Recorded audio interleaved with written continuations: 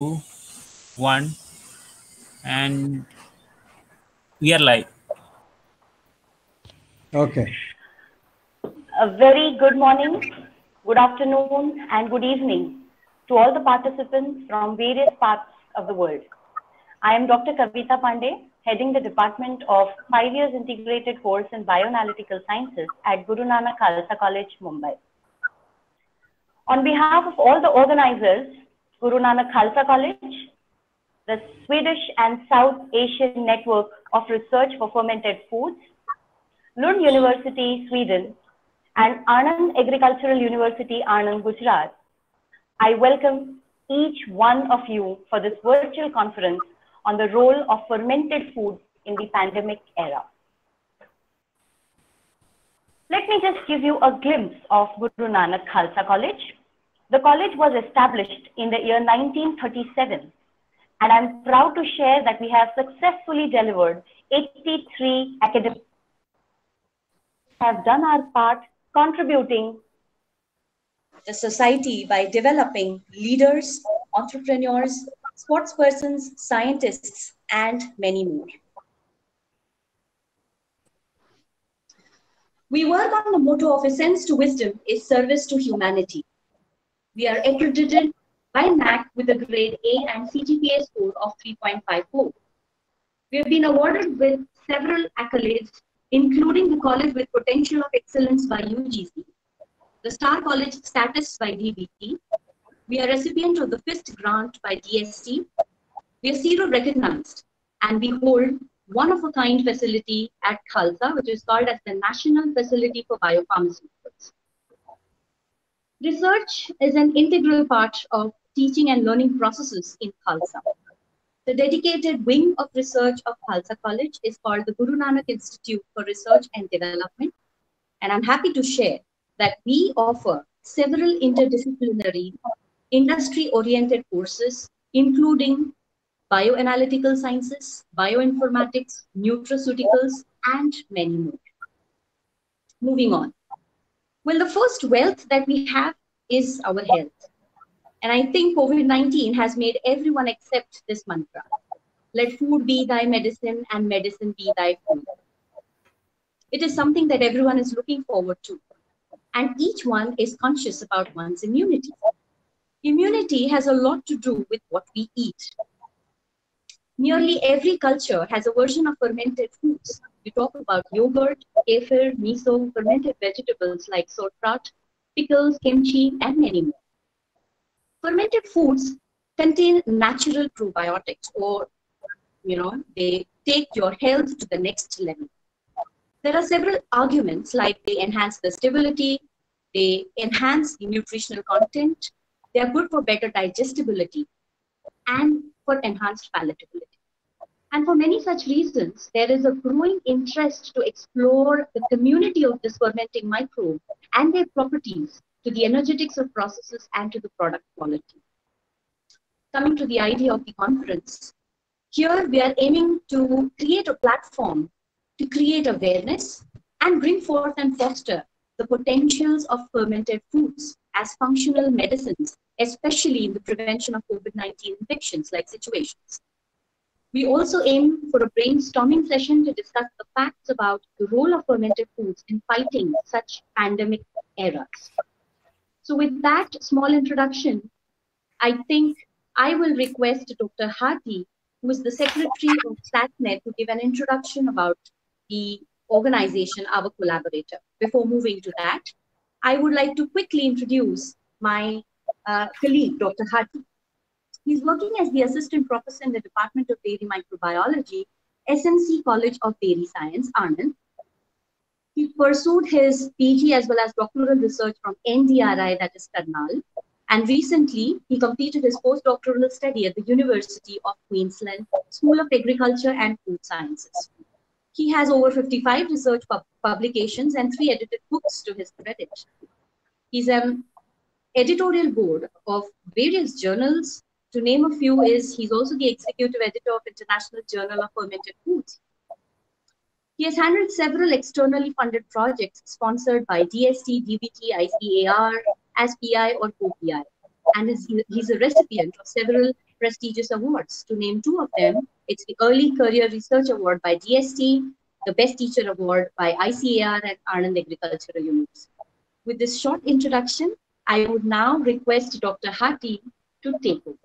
Thank you. Uh, thank you. Uh, now, now I have shared my first uh, slide, means title slide. It is visible to all of you.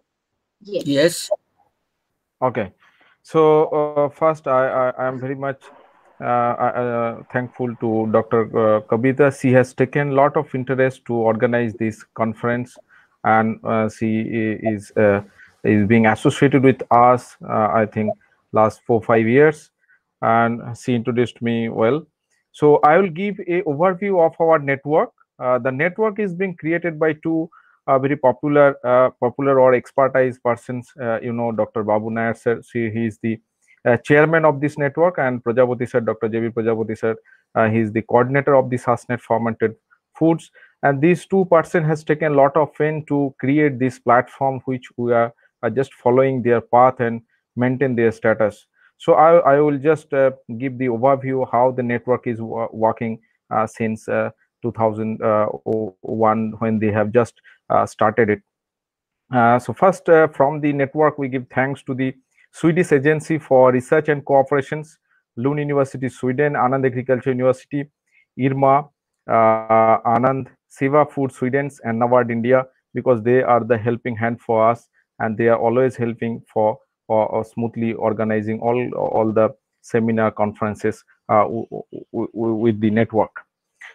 So the seeds were sown in the mm, year of 2001 on 20th September when J.B. Prajapati sir delivered a lecture on probiotics, uh, fermented foods and their beneficial role for Sasnet at Lund University. Uh, on that time, they started, they, they thought that they should start this network and, and they, they really did this wonderful job and now we are enjoying this platform. The first international conference was uh, organized at IRMA on uh, November 13 to 14 in 2003, and and on that conference uh, they did a uh, uh, you know that they, they they thought that we should take the uh, participants' view that we are going to start a network. So should we are in the right right path or not? And they they got the highest uh, you know the vote or or you can say all are all are uh, likely minded peoples and they said yes we should uh, create this kind of network and and we'll, we, we should help the societies for creating health status and social well-being.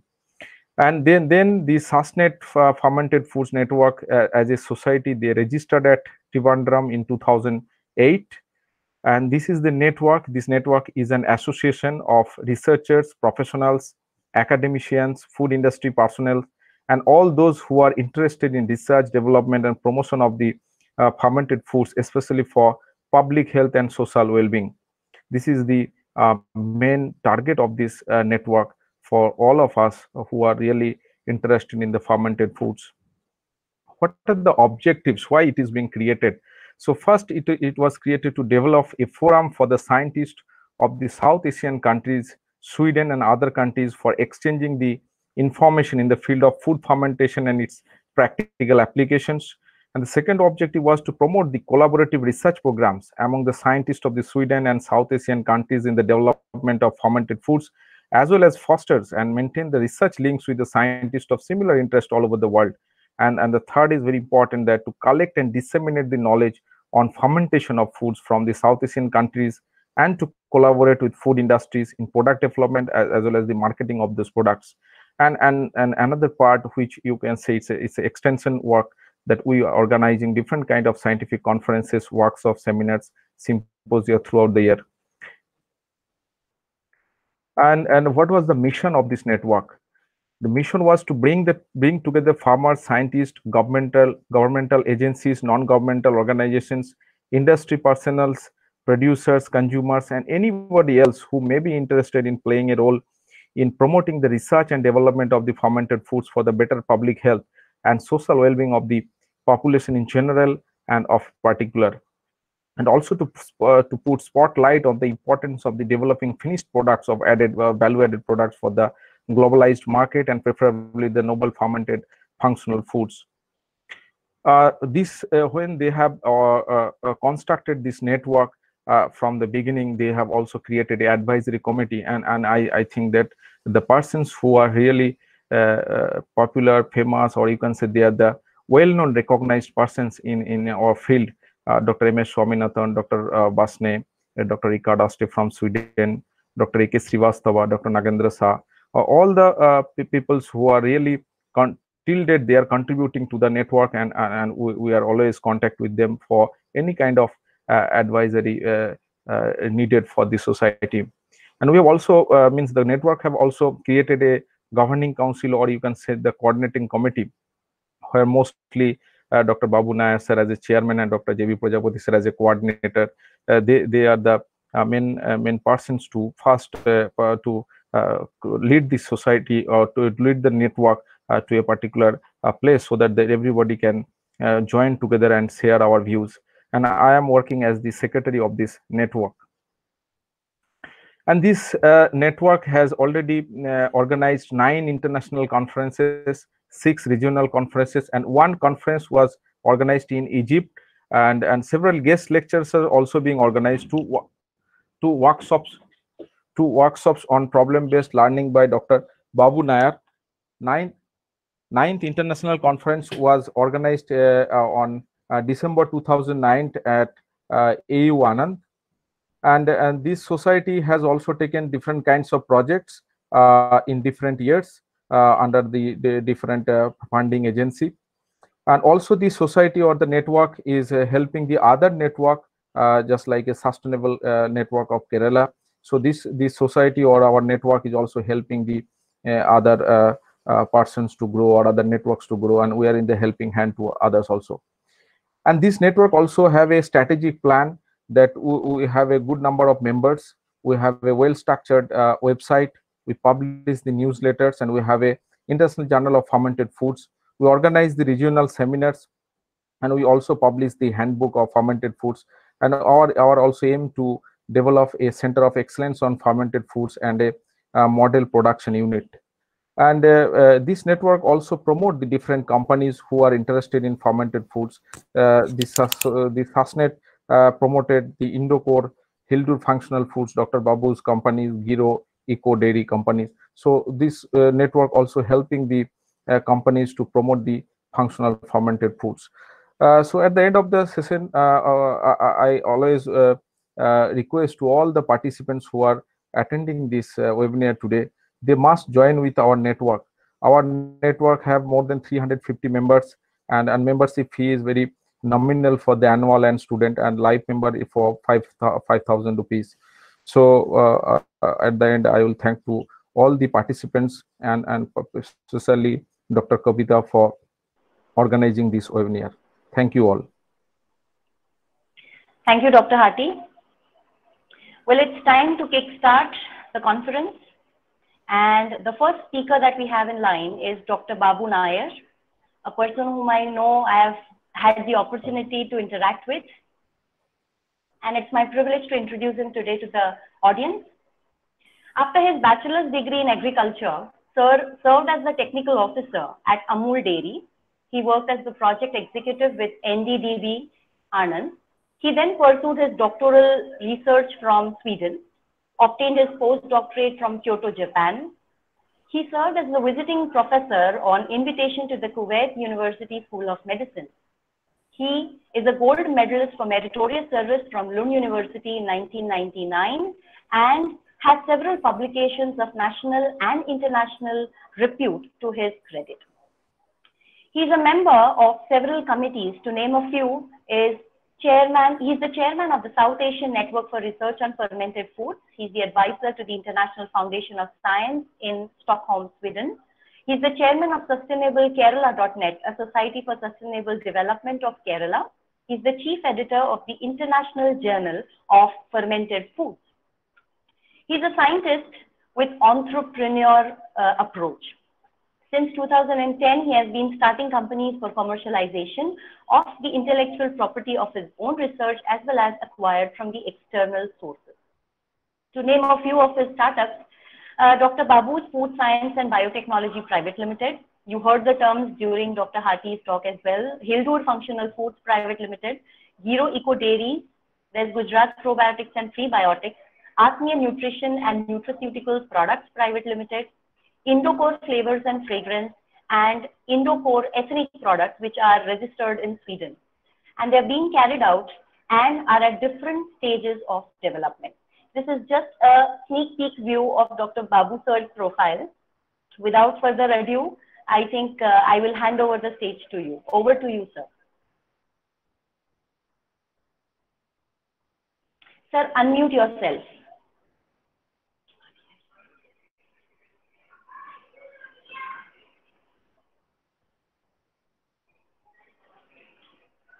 So, I mean now. Yes, sir. We can hear. Yes, sir. So, so, um, hello everybody. Good afternoon. Uh, thank you very much, Dr. J.B. Prajapati, Dr. Subrata Hati, and uh, Kavita Pandey. Thank you very much. Thank you for the introduction. As the chairman of the Swedish South Asian Network for Fermented Foods, I like to mention that uh, it is very nice of you to initiate the organization of this meeting and Dr. Subrata Hati to have made a good presentation of our network. I do hope that you will continue to organize seminars of this kind, bringing well-known scientists of the world closer to our members. Slide two, please. I have my academic base at the Department of Food Technology, Food Engineering and Nutrition of Lund University, Sweden. We educate food engineers at graduate level, master's level, and also doctorate level. We also have a program called International Master's Degree Program in Food Technology and Nutrition. This program is aimed at students from all over the world who want to work with innovative future food products. For instance, design and development of foods with proven health benefits. Slide three, please. What I am going to present here is a summary of my lecture on defense mechanisms of the human body for the students of the International Master's Degree Program in Food Technology and Nutrition. Life as we understand today is a functional activity peculiar to organized matter, whether it is an animal, plant, or very simple microorganisms. This activity requires constant interaction with the environment. Positive stimuli is life promoting, negative stimuli is harmful to life. What is interesting for us to look at is how human beings deal with harmful stimuli, stimuli of various types. This include all that is included in the list on this slide. Some defense mechanisms are physiological like fear, adapted or learned behavior, and number of reflex connected to our senses and nervous system. Since quite early in our civilization, it was known that some individuals who were exposed to a disease became resistant to that particular disease rest of their life. However, it is only in 1796, through the investigations of English physician Edward Jenner, we learned to create resistance to a disease in an individual by creating immunity by artificial means. Thus, vaccination became a clinical technique in preventive medicine and immunology became a subject of antigen antibody reactions. Next slide, please. The first set of barriers against organisms of or materials foreign to the body is of course the skin which is present all over the outer surface of the body. The inner surfaces are lined with epithelium. Under normal circumstances, microorganisms are not able to penetrate the intact skin and only very few of them can survive on the skin. Most of them are prevented by low pH of the skin, which produces lactic acid, fatty acids, and large amounts of sweat. In the respiratory tract, the cilia bring the foreign bodies to the pharynx and they are swallowed. Various secretions found on the linings of the nasal cavity, oral cavity, surface surfaces of the eyes and genitalia like mucus, tears, and saliva contain lysozyme. Next slide, please. The second line of defense, the mechanism of inflammation and phagocytosis, which is also called non-specific or general immunity. If and when microorganisms enter the body due to injury or infection, then they are taken care of by specialized cells of the body. Inflammation is a typical reaction of the body to the entry of microorganisms. Blood vessels of the region are dilated to facilitate increased blood supply. The permeability of the blood vessels are increased for proteins and white blood cells to initiate the process of phagocytosis by small white blood cells called macrophages. Macrophages are attracted to the place of injury by chemicals produced either by the injured tissue or by the microorganisms. After some time, macrophages get assistance from monocytes, which are also white blood cells, and histiocytes, which are present all over the connective tissue, and these are called macrophages. Slide 6, please. In the microorganisms, and if the microorganisms organisms enter deeper than macrophages located in the lymph nodules, spleen, liver, and bone marrow come to do their part in phagocytosis. Main phenomenon of phagocytosis is intracellular digestion of the microbes using lysosomal enzymes. In addition, nitric acid and hydrogen peroxide are also produced which are extremely destructive to microbial cells. The end products are either excreted or used in the metabolism of the cell itself. Most of the microbial invasion can be neutralized by this mechanism. And that is why it is called general, innate, or non-specific immunity. Next slide, please. The third line of defense is antigen-specific immunity, which is also called acquired immunity. There are microorganisms and virus which cannot be defended by phagocytosis alone. Against such microbes, the body has two types of specific immune reactions. One is called humoral immunity as the antibodies which are which can bind to antigens are present in the body fluids and the other is called cell mediated immunity as it involves some specialized cells which act directly on the antigens the antibodies required for humoral immunity is produced by b lymphocytes and t lymphocytes are responsible for the cell mediated immunity Humoral immunity is mediated through a reaction between specific antibodies secreted into the blood which are specific to antigen. Antigens are normally proteins, polysaccharides, toxins, cell wall components, or even dead cells. Antibodies are, antibodies are proteins which fall under the group immunoglobulins. They are five in number IgG, IgM, IgE, IgA, and IgD. Of course, most of these, most abundant are IgG and IgM. Antibodies can neutralize antigens just by binding to them directly and inactivate them. They can also facilitate the process of phagocytosis by binding to soluble antigens, making them insoluble. Anti antibody antigen complexes are often precipitated, and as consequence, phagocytosis is made easy.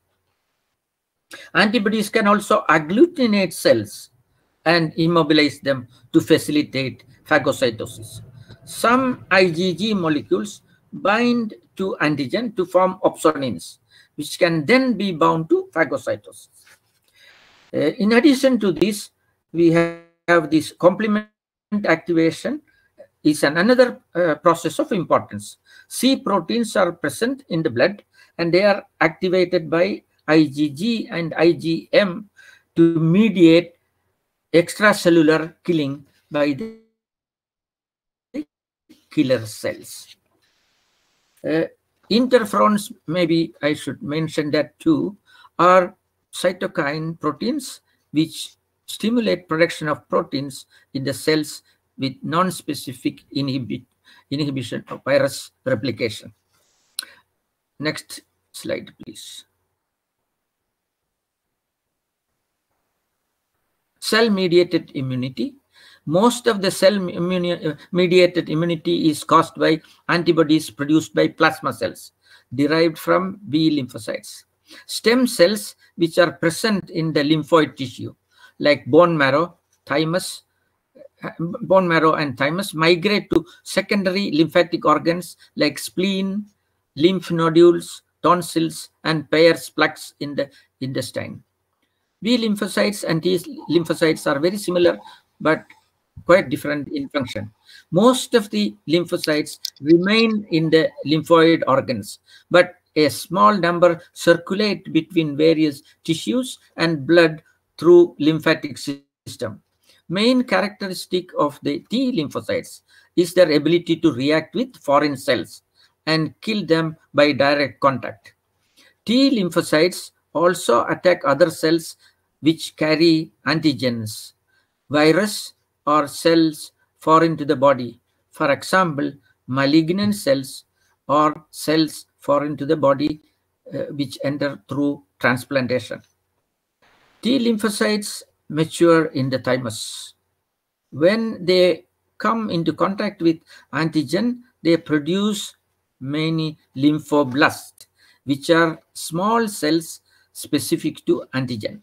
These cells have long life and can react quickly and strongly next time they are exposed to the antigen.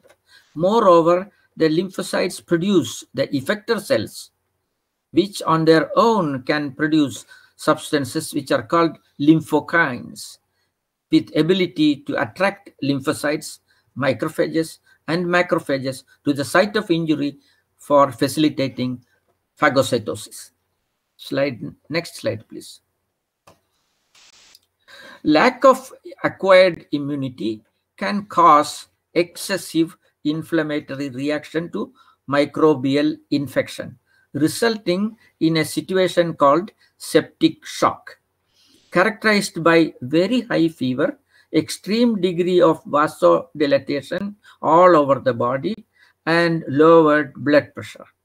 This is due to the large amounts of non-specific chemical mediators, cytokines, which are secreted in the blood by macrophages following the infection.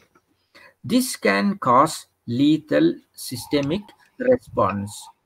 This is almost what happens to COVID-19 patients. Next one.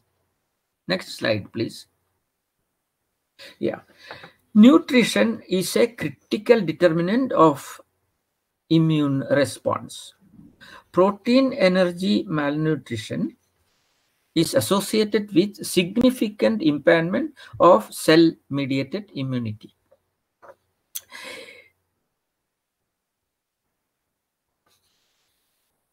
Even mild deficiency of single nutrients result in altered immune response. So next slide, please. Immunity can be enhanced. Most of the micronutrients, uh, I mean, modest amounts of micron zinc, selenium, iron, and copper, and vitamins like vitamin A,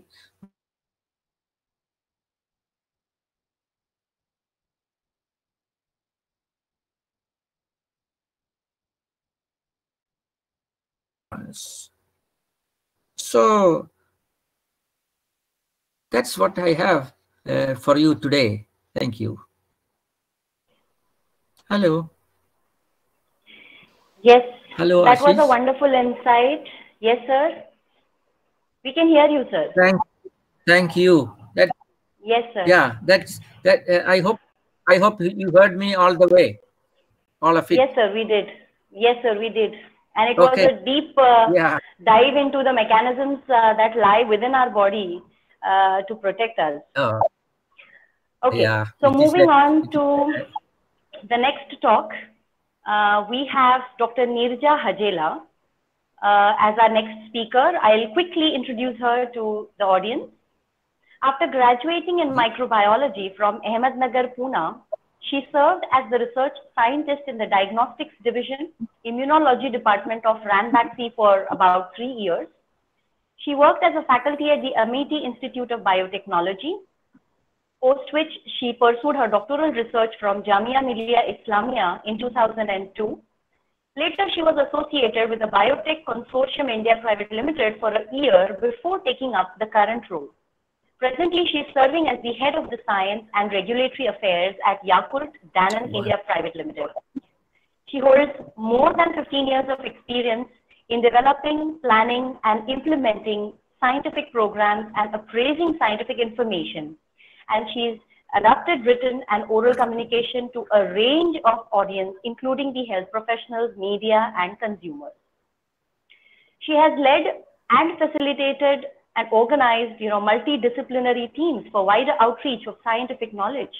She has organized international and national symposia for scientific deliberation on the regulatory compliances, including government approval processes, ensuring compliances with industry regulations, necessit- necessitating the scientific data for approvals and validating the information on packaging and labels.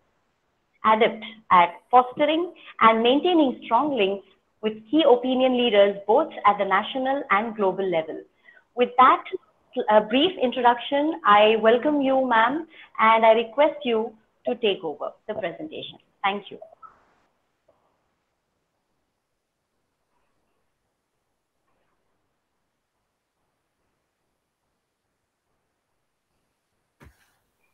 mute, mute, mute the microphone, please. Nirjas,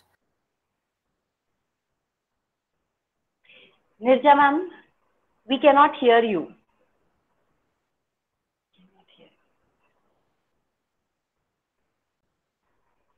Has she started? Please unmute yourself. Yeah. Can you hear me now? Yes, yes, ma'am.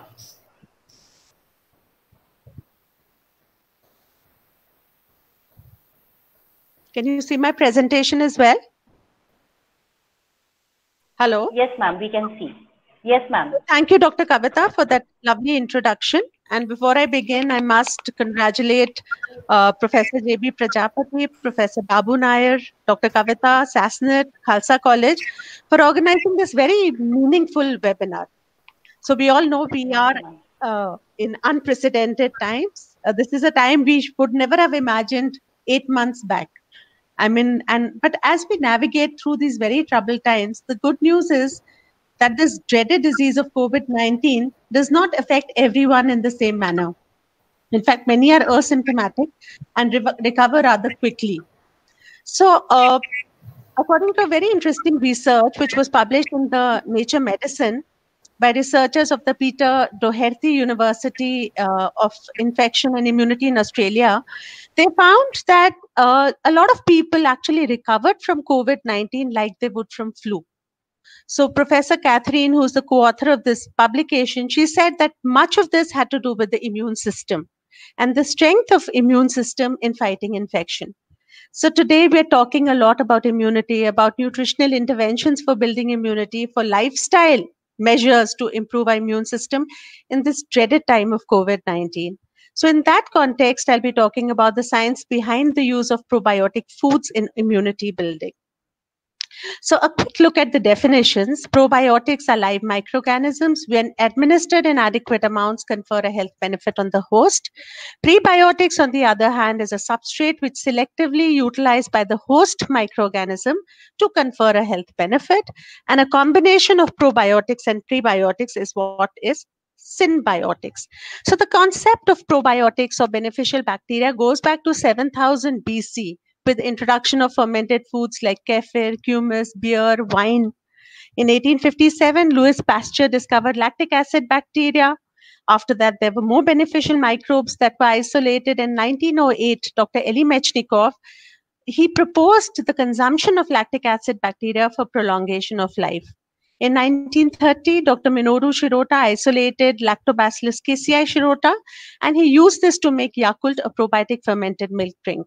In 2001, we had the official definition of probiotics, and in 2020, we have more than 1500 publication and many different probiotic foods. Now, the interest in probiotics is rekindled because of the fact that we are more microorganisms than human cells. We harbor 100 trillion microbes in almost every part of the human body, but the largest number of these microbes are found in the gut, known as the intestinal microbiota. Now, what are these microbes doing there? Most importantly, they are responsible for digestion of food to compounds that can be taken up by the human body. They help in absorption of nutrients like calcium, magnesium, and iron. They also help in fermentation of non-digestible dietary fiber to make short-chain fatty acids, which is a major source of energy in the large intestine. But the gut is a large surface. If you were to extend it, it is as large as a tennis court. So this requires protection. And these microbes play a very, very important role in protecting against pathogens, toxins, and allergens. And also the gut requires an intact barrier, molecular defense systems, and a functional immune system. So it's not surprising that about 70% of the body's immunity is found in the gut. It is also the largest immune organ of the human body. And this immune system is known as the gut associated lymphoid tissue. So there's permanent communication between the microbiota and the gut associated lymphoid tissues. The GALT has pattern recognition receptors or toll like receptors, which recognize what is pathogenic or toxic on one hand or beneficial on the other. And the body can then react appropriately to eliminate the pathogens and toxins. And probiotics use some of these mechanisms to actually interact with the immune system and augment both the innate as well as acquired immune responses. So most importantly, they are involved in bioconversion. They convert, convert the food that we eat into short-chain fatty acids. And these short-chain fatty acids reduce the pH of the intestinal lumen and inhibit the growth of pathogens. Now, these probiotics also compete for nutrients, they compete for receptor spaces on the intestinal epithelium, and they competitively exclude pathogens. There are some probiotic strains which produce bacteriocins, which directly antagonize pathogens. These are also responsible for vitamins, production of growth factors. Many of these probiotic strains actually augment the uh, immune responses. They, they also help to maintain an intact barrier function because they upregulate the production of tight junction proteins. They increase the production of mucins and prevent the translocation of bacteria and their toxins into the blood. Many of them are anti-inflammatory in nature. They produce anti-inflammatory cytokines and prevent inflammation. And now we know about the gut-brain axis and probiotics can actually help in neurological disorders by interacting with the brain through the vagus nerve. Now, what are probiotics? As the definition which is given by FAO and WHO, they are live microorganisms which, when administered in adequate numbers, give you a scientifically proven health benefit. So there has been a lot of confusion about traditional fermented foods being probiotic. And while probiotic strains could be lactic acid bacteria, it is very, very important to remember that probiotic benefits are strain specific. Therefore, it is important that each probiotic is identified to the strain level through phenotypic and genotypic methods. These organisms must be resistant to gastric acid, bile, pancreatic juices, and reach the target site live to give you a scientifically proven health benefit. Then they're tested for their safety in animal models, efficacy in animal models, followed by safety and efficacy studies in humans. And then the effective dose of the probiotic strain is evaluated, identified, and this is used for formulation of a probiotic product, which is finally labeled. So what we have with us. When it comes to probiotics are probiotic drugs we have probiotic medical foods we have probiotic foods we have probiotic infant formula. But what is not a probiotic are fermented foods with undefined microbial content or fecal microbiota transplants. So once you have a probiotic strain, it is also very important to determine the carrier matrix. And dairy by far is one of the most preferred medium simply because it delivers nutrition and optimal expression of the probiotic functionality. The low pH of a dairy product helps to buffer stomach acidity and ensures viability of the probiotic bacteria. And the short shelf life or refrigeration encourages survival of the probiotic in the product. And the whole compliance of food versus pill. So dairy-based probiotic foods, they actually represent the largest segment accounting for 65% of the total probiotic food market. Now, while we are talking about immunity, there's a lot of scientific data which has shown that the benefit of probiotics in different areas of health. But when there are a lot of studies which show that probiotics strains can actually augment the innate and acquired immune response and reduce the risk of infections. So this is a Cochrane review which was published way back in 2015 by Hao et al. And this included 12 randomized controlled trials, 3,720 participants, which included children, adults, as well as the elderly.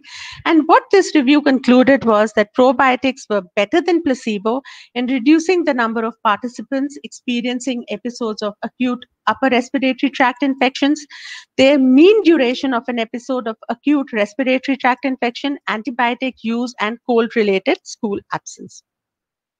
Again, because probiotics are known to improve the balance of the immune system by regulating the Th1, Th2 response, many of these strains produce anti-inflammatory cytokines. Probiotics have found benefit in allergy prevention. However, like I said, probiotic benefits are strain specific. Therefore, every probiotic must be validated by its own dossier of scientific data for the health benefit. So just by way of example, I will take you through this strain for bacteria, which was isolated in 1930, Lactobacillus casei strain Shirota, the strain of bacteria which is found in Yakult, and let uh, and take you through how it builds our immune responses. So Lactobacillus casei strain Shirota, for instance, this is a probiotic bacteria. This is a gram-positive homofermentative organism which produces lactic acid as an end product of fermentation. And it has a polysaccharide peptidoglycan cell wall. So the immune modulatory property of this particular bacteria lies in the PSPG or the pep uh, polysaccharide peptidoglycan complex. And several studies have shown that regular ingestion of this strain of bacteria can increase natural killer cell activity, increase your secretory IgA levels, and phagocytic activity of white blood cells. Now, natural killer cells, as we all know, are our first line of defense against viral infections as well as cancer cells. And secretory IgA is also an important antibody which is found in the mucosal surfaces and protects us from viruses and other infections. So this is a study which was done at the Loughborough University in Tokyo. This was done on athletes. Now, athletes, because of prolonged exercise, have a very weak immune system, and therefore they have an increased susceptibility to respiratory tract infections. So this was done on 84 subjects. Uh, 58 completed the study. It was a 16-week study where the probiotic group was given two bottles of LCS fermented milk drink for a period of 16 weeks, and the other group got the placebo. So at the end of 16 weeks, the results of the study showed that 27% uh, uh, less subjects consuming the probiotic experienced URTI symptoms as compared to the placebo. Moreover, the number of episodes of URTI were also lower in the probiotic group. So if you look at what happened was that the salivary IgA concentration, salivary IgA is important in protection against viral infections. The salivary IgA levels were significantly higher in the probiotic group as compared to the placebo group. Now another, so these, uh, uh, this property of this strain of bacteria to increase salivary IgA has been studied also in the elderly and evaluated for its benefit in reducing upper respiratory tract infections in this group. So these are independent studies which were done on Belgian uh, elderly in Japanese population in age groups of more than 65 years. And these studies have also shown that consumption of LCS for a period of more than six months actually reduces the risk of respiratory tract infections, the duration of upper respiratory tract infection, and the duration with fever. Now, another benefit that has been observed with this particular strain of bacteria is that it has the ability to interact with monocytes and increase the activity of natural killer cells. Now, NK cells are again important uh, immune cells which protect us from viral infections and cancer. So these are studies which are done in different countries across the world, but they have shown that consumption of LCS for a period of three weeks at least has increased the NK cell activity in those healthy individuals whose NK cell activity was low. Now, NK cell activity decreases or declines because of lifestyle factors, nutrition, stress, pollution, and people with low NK cell activity are at a greater risk of viral infections and cancers. So this benefit of the strain to increase NK cell activity has been evaluated in its ability to reduce the risk of cancers. Again, these are three independent studies. The first study was done on 138 patients who had superficial bladder cancer, and they found that uh, these patients had undergone transurethral resection and were free of bladder cancer, but they found that after ingestion of this probiotic strain, the recurrence free rate was prolonged at the end of one year. The second study was on 398 subjects who had at least two, col two colorectal tumors, but they were removed. They were again free of colorectal tumors, but again, ingestion of this probiotic strain reduced the recurrence of tumor at the end of four years. And the third study, which is a population-based study, was done on 968 women in the age group of 40 to 55 years. And this study also showed that consuming the fermented milk drink, the probiotic fermented milk drink, at least four times in a week reduce the risk of breast cancer. So this is the kind of scientific data that is required for probiotic strains. And this particular strain, it is present in Yakult. Now, Yakult is not a medicine, it's a functional food which improves gut health and builds your immunity to reduce the risk of infections. So, thus translating the science to practice because of the emerging health benefits of probiotics, the global market for probiotic is pegged at 63 billion US dollars by the end of 2022. Of course, Asia Pacific is one of the fastest growing market and Japan, Europe and the US represents major markets worldwide. Now, India today is a hub of probiotic foods. All these products are available mostly in the form of dairy uh, in, in a dairy form. And they all contain strains of bacteria which are scientifically tested and validated for their health benefit. However, to ensure level playing for all probiotic products, the Indian Council of Medical Research and Department of Biotechnology, they brought out guidelines for evaluation of probiotics in food in 2011. And these guidelines clearly state what it takes for an organism and a product to be called as a probiotic. In fact, the guidelines have also been published in the Indian Journal of Medical Research. And in 2016, the Food Safety Standards Authority of India brought out regulations for nutraceuticals and functional foods in which probiotics was an important category. So here they have clearly defined what it takes for a, for a product to classify as a probiotic. The viable count of bacteria in a particular product must be 10 to the power 8 CFU per serving per day. The, these are the 28 different probiotic, these are different lactic acid bacteria species which can be added as probiotic foods.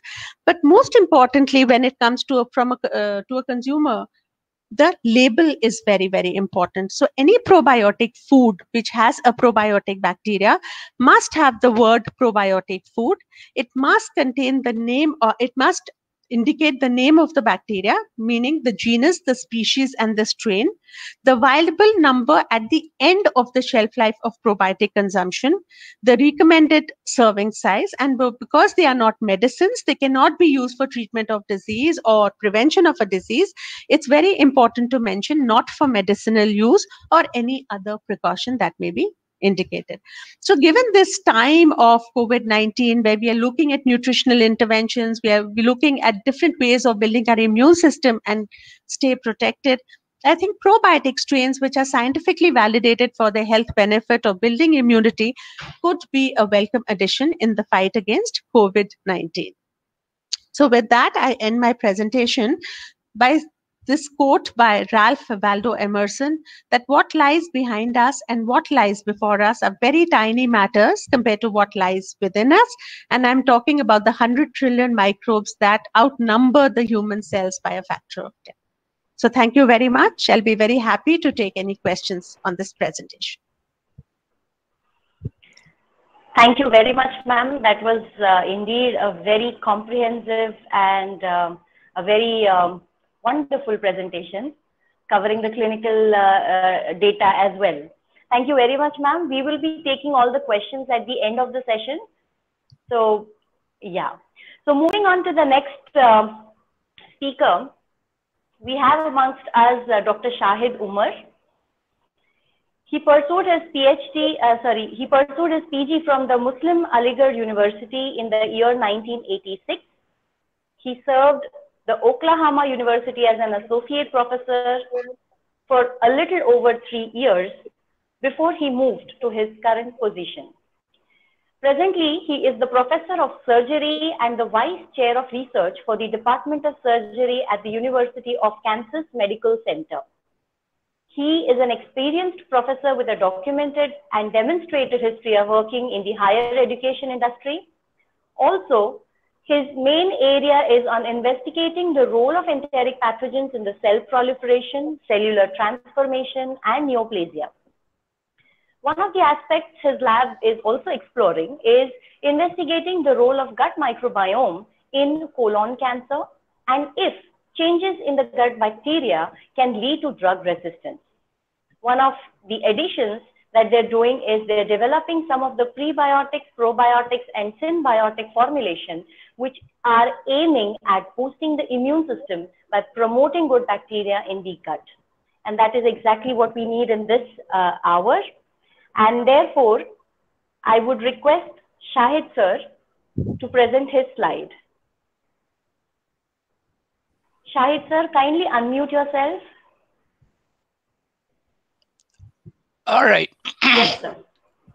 Uh, so do I have the presentation uh, for me? Let Yes, sir. wait a minute.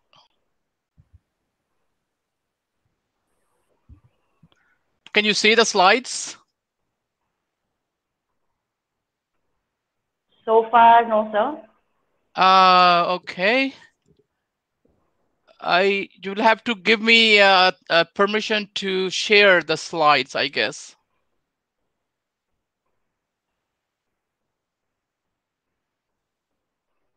One moment, sir. Dr. Nirja, please. हम्म. आप discontinue करो उधर से Mine is discontinued.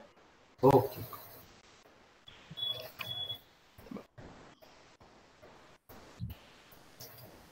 Sir, you should be able to present now, sir. Okay, let me try again. Yes, sir. Can you see it? We cannot see you. Oh, uh, Mm, no, sir. Oh, can you see my slides? No? Huh. No, sir. So I don't Ashish, have. can you guide?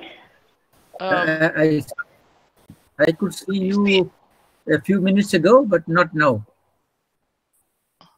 Ashish Huh. or Aldrin, please guide. I was able to share yesterday, uh, so I'm I'm not sure what happened. Oh, can you see my slides? Hello, sir. No? Sir, just Yes, click on Ashish. that Just uh, guide him. bottom bar, present now. Present. Oh, okay, okay, okay, Okay. Then entire screen. okay. Okay. The small window will appear with a desktop. Click on that and share now. okay Yes, Yes, sir. We sir. can see your slides now. Okay, great. Just give me a second. Sure, sir.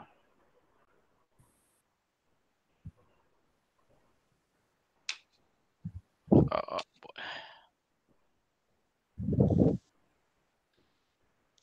can you see it? Yes. Yes, sir. All right. So, good morning, everyone, and uh, thank you so much for uh, inviting me to present to this extraordinary forum. Um, my name is Shahid Umar, and uh, as Dr. Pandey uh, very nicely said, uh, I'm a professor here at uh, University of Kansas. So, I'm going to talk about a little bit about uh, microbiome and gut health. And uh, uh, uh, throw some data of my own, uh, which is a part of a, a, larger paper that we are working on, uh, and then discuss uh, some, you know, efforts to really support immunity, which is what is needed in this era of COVID-19. Uh, so I'm to just read from one of my slides. It's called The Very Quest of Human Being is Not Targeted to Economic Progress, nor it is to achieve deiform glory, but to reflect upon a simple question, who are we? And uh, we are, I can tell you that we are more bacteria than human. And when it comes to bacteria, you know, they cause infection, which is well known, well accepted, and there are known treatments. However, has this mindset possibly blinded the medical community to the richness, relevance of our microbial ecosystem uh, to health and disease? And that's exactly what it is. Microbiome, human microbiome is not just limited to bacteria. Uh, in, in, uh, on, uh, in contrast, uh, it's actually comprised of bacteria, archaea, viruses, fungi, and parasites. And so there are distinct uh, microbiomes at each uh, body side. You have gut, lung, skin, and mucosa. And then there are other organs such as liver or pancreas that do not have a microbiome of their own, uh, but they are probably helped uh, through the uh, systemic uh, presence of um, microbial metabolites, which are basically released from the gut when we eat various food. Uh, so human gut is home to 100 trillion bacteria, as Dr. Anuja uh, was just referring to very, uh, you know, a, a, few minutes ago. Uh, and so this density of about 10 to power 11 to 12 in the colon, uh, almost a trillion in the, in the, colon, that's what I call wealth management in the gut. Um, and in fact, when the field was initially taking off, there was a consensus that these bacteria outnumber us by a factor of uh, uh, 10 to 1. So in reality, that would have uh, suggested that uh, uh, you know we are only 10% in hu human actually i mean which is a very scary thought but anyway moving on so there are indi individuals um, in general have about you know greater than 160 species about out of those 124 have been studied uh, most of them belong to the two major phyla uh, almost 90 percent uh, firmicutes as well as bacteroidetes uh, and then there are some core microbiome uh, which are most more, more or less shared by all human beings. Uh, so if you look at the structure of the human intestinal microbiota, this, this composition changes throughout the course of life. The infant microbiome shows great inter-individual variability and relatively low diversity, but becomes more diverse and converges uh, into an adult-like structure by about three years of uh, birth.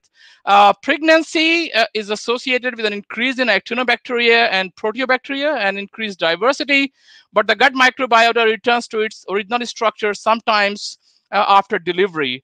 Uh, old age, you know, I'm talking about people who are 65 or older.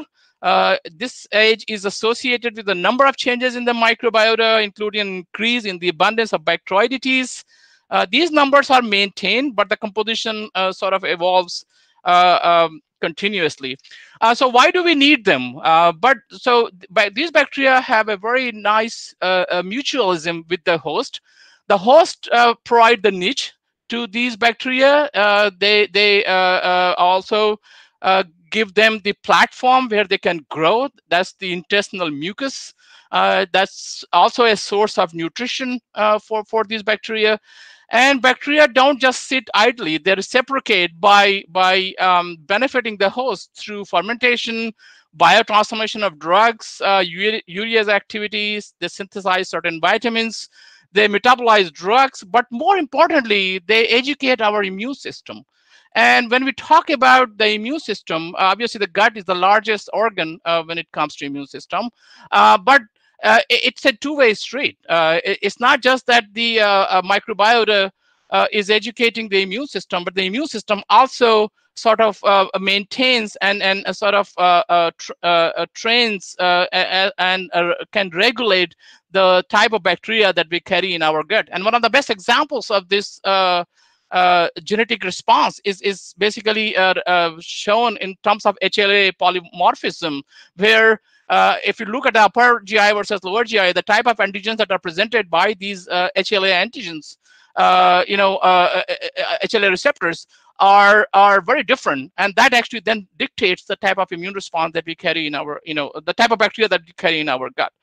So when you maintain that balance, you know, the immune balance with the gut microbiomes, uh, gut microbes, uh, when these parties communicate, you always have good relationship. Uh, and that is very critical to maintain that good health, where you maintain a level of regulatory T cells, which is very important in maintaining an immunity against, uh, against uh, infectious agents. Uh, but what happens when this alliance goes wrong? my, they, these that disbalance or that this when this delicate balance is is perturbed you have uh, you know a significant amount of diseases actually i mean. Uh, so there is a multiple hit hypothesis for how the microbiota of uh, industrialized societies has lost diversity over time. Uh, and this was likely altered at multiple stages of human evolution as diversity and quantity of dietary microbiome uh, associated uh, microbiota associated carbohydrates decreased um, uh, with with uh, you know from compared to hunter gatherer to agriculture uh, industrialized food production and processed food the model reflects uh, data that indicate a corresponding decrease in microbial diversity. So and then you what you see here is while diet is likely a key mediator of microbiota diversity, additional technological and medical leaps uh, while providing solutions for important problems such as infectious disease uh, have likely served as insults to the microbiota. These multiple hits have prevented the maintenance of microbiota diversity over several generations. So we all know that uh, diet influences microbiome composition. Uh, question is how? Uh, so the long-term diet is associated with development of specific enterotypes. Factors that drive changes in microbiota are still being worked out. Um, and I talked about microbiota accessible carbohydrate or MACs, which are found in dietary fiber, play a key role in shaping this microbial ecosystem and are strikingly reduced in the Western diet relative to uh, traditional died. So here is an example. You have various types of bacteria. You have unaffected bacteria shown in green. You have mucus degrading bacteria shown in pink. And then we have fiber degrading bacteria uh, shown in blue. And then uh, uh in, uh, uh, in red is, is a pathogen. So when mice were given a set of uh, synthetic bacteria shown here as gut commensals, they were colonized with a synthetic this microbiota and fed a fiber-rich diet when that uh, these these sites have more fiber degrading bacteria uh, and a very thick uh, mucus layer uh, lining and are uh, basically pr uh, protected from disease okay in contrast when mice were fed fiber free diet um, they have an outgrowth of mucus degrading bacteria uh, you know, which are shown in pink. You can see over abundance of these. They cause the thinning of this mucus layer and these uh, these animals were more uh, susceptible to infection by an enteric pathogen. So speaking of enteric pathogen, my lab has been working for about 15 years now uh, on a gram-negative bacterium called Citrobacter rodentium or CR. I will be calling uh, this uh, from now onwards. It belongs to a family of bacterial pathogens that cause attaching and effacing lesions in uh, in, in, in, the, in mice.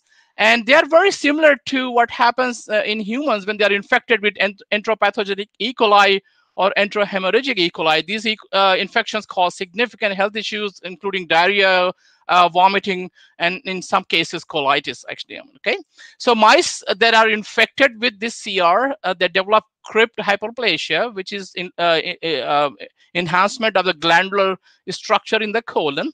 And the inflammation is dependent upon the type of uh, genetic background that we use for mice. So we first wanted to actually uh, see whether the mice are infected. So we took the uh, uninfected uh, mice, colon from the uninfected mice, and then we infected mice with CR for about 12 days. And then we perform a transmission electron microscopy. So you can see that compared to uh, no bacteria here in the uninfected, you can see bacteria all over the place shown here as these uh, kind of bacilli. They're not only present on the surface, but you can see that they are deep inside inside the mucosa. And what actually this presence does it causes a significant change in uh, the length of these glandular structure called crypt in the colon uh, in the infected mice. And it also leads to significant um, uh, recruitment of immune cells, uh, as you can see. So we wanted to see if uh, can we uh, then use some dietary approaches to prevent this inflammatory uh, uh, uh, you know, immune response. So we took two different diets. The first one was a 6% pectin diet. Now, pectin is a, a, soluble fiber. It's a prebiotic. So you heard from Dr. Nirja about probiotics. I will I will try to give you some insight uh, on prebiotics, which are uh, uh, nutrition of food nutrients that actually help and support the growth of uh, good bacteria or probiotics. Uh, so uh, pectin is a soluble fiber. It requires microbes for butyrate generation. Uh, we wanted to do a proof of concept experiments where we also use a 6% tributylin diet, which is a butyrate prodrug. However, it does not require uh, uh, fermentation by the gut bacteria. On the contrary, it requires host lipases to generate the uh, three molecules of butyrate. So we did a 16S uh, ribosomal uh, sequencing and you can see that sorry okay um, so you can see that uh, uh, uh these are the sequences from um, group of normal mice um, you can see that the bad bacteria shown here in uh, red, uh, which is the protobacteria, is very, very small, uh, you know, uh, uh, in present. Most of them are dominated by Bacteroidetes and Firmicutes. However, when we infect them with the Citrobacter, uh, you can see that proteobacteria almost are the dominating class, sorry, phyla. and then when we treat them with pectin, uh, it uh, more or less uh, sort of uh, uh, starts to resemble the uninfected uh, colon. So we saw significant restoration of commensalism, if you will, in response to pectin. and the same response was shown with tributylin diet. Uh, so we did a, a pan-bacterial uh, staining for uh, uh lumen of the gut. So this is called EUB 338 that labels all the bacteria in the lumen of the gut. Okay.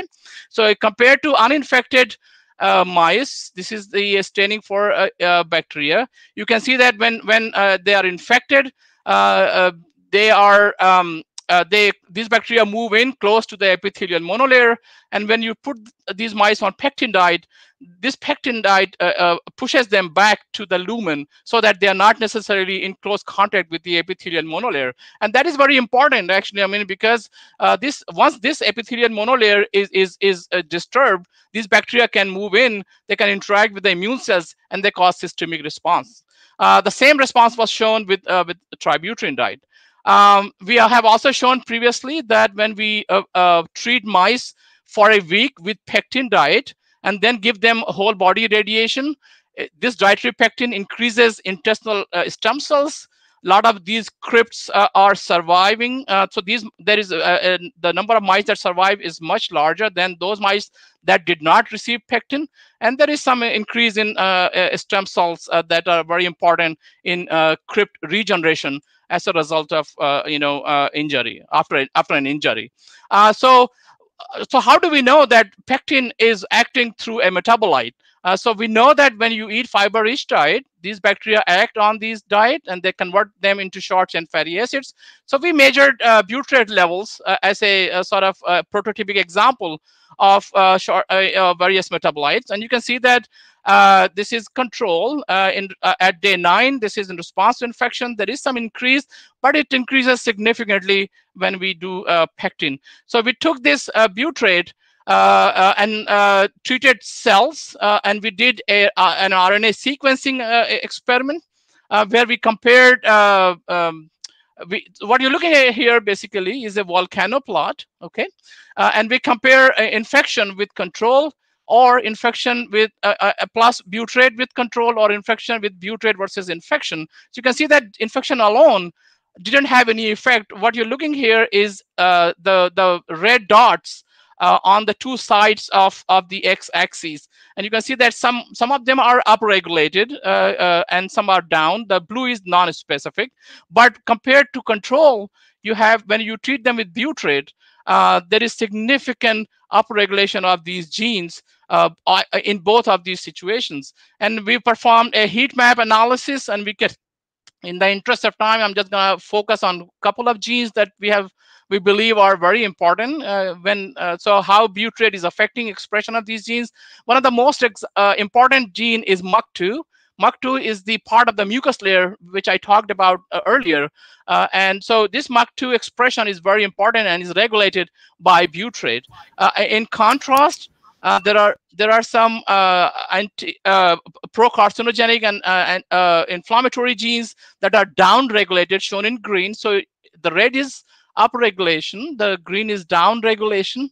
so some of the genes are down-regulated. For example, EZH2 uh, RBM3, which is a proto-oncogene, as well as catenin, beta-catenin, which is also a proto-oncogene.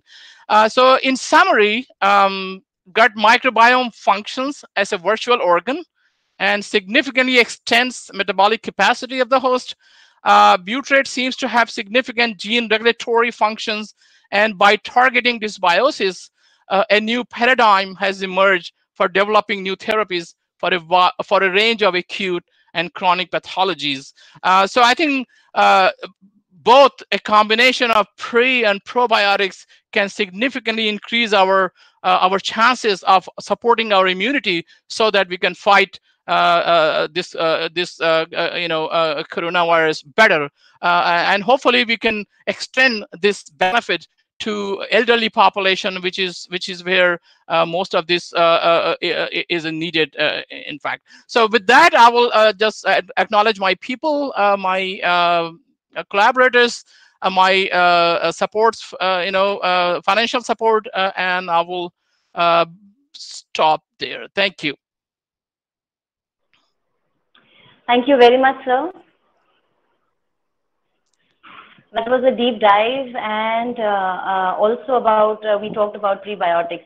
So i am sure the audience is having a wonderful ride right from the defense mechanisms of the body to probiotics and now prebiotics and its implications. And now uh, the journey heads towards himalayas.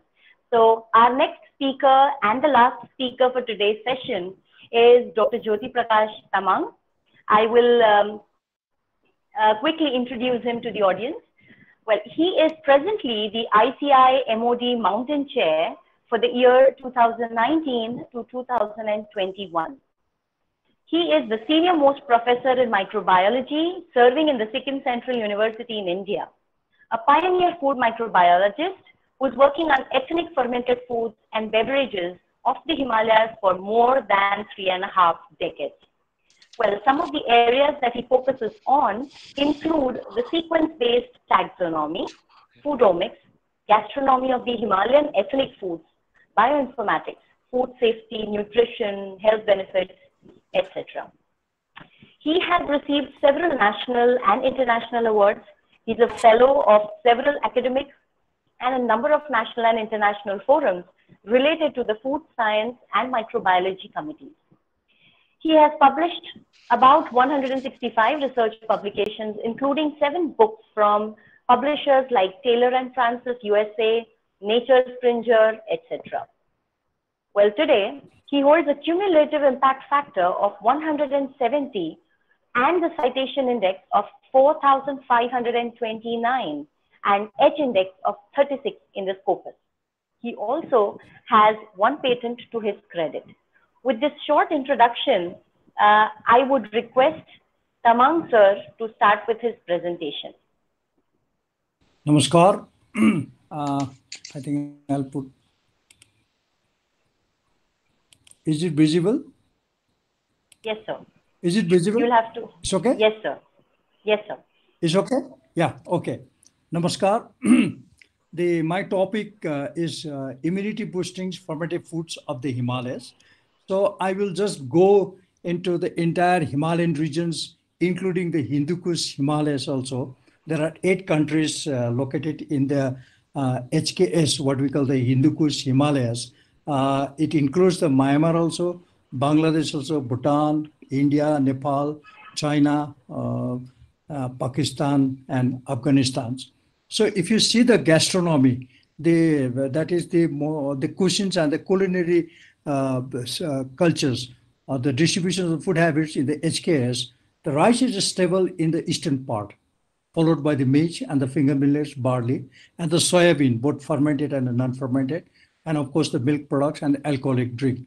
But if you go to the west, right from uh, the Ladakh or the Ka- Kashmir in India, Pakistan, Afghanistan, it is not the rice, it's a wheat, it's a stable food, and uh, several milk and milk products.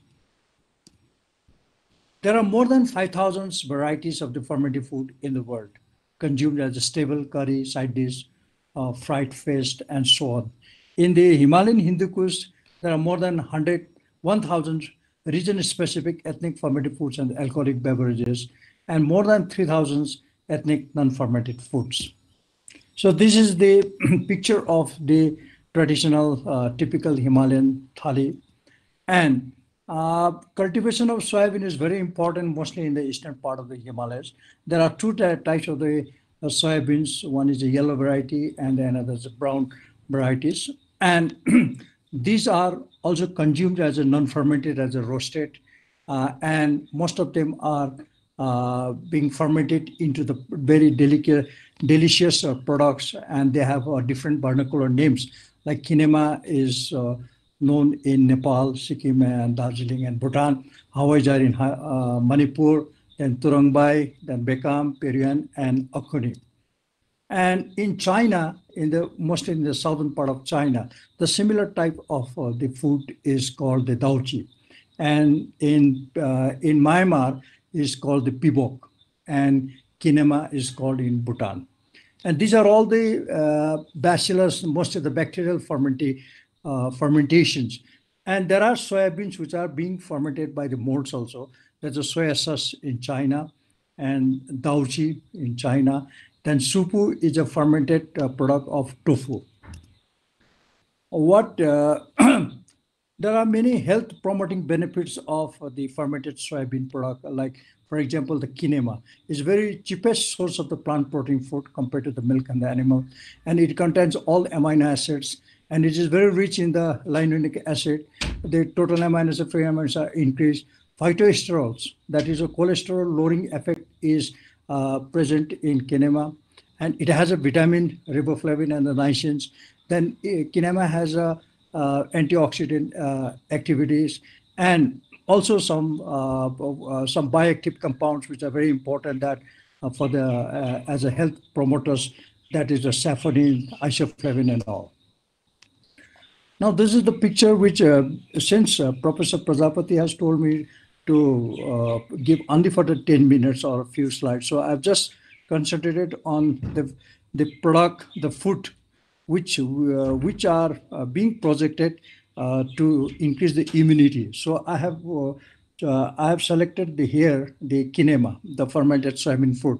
And we collected the kinema sample from uh, the different countries, the India, Nepal, and Bhutan. And we did uh, the high throughput sequencing. And what we have found is that we used to use the bioinformatics. That this is the new type of what we have used the Burinto software.